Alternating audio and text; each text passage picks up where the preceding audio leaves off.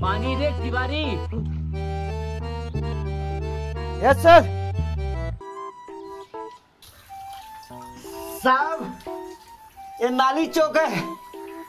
वो स्वीपर को क्या नाम है उसका? लायक राम साहब। उसको बुला लो वो ठीक कर देगा। खुद ही ने बुला लेता है? तेरी जात का ही तो है।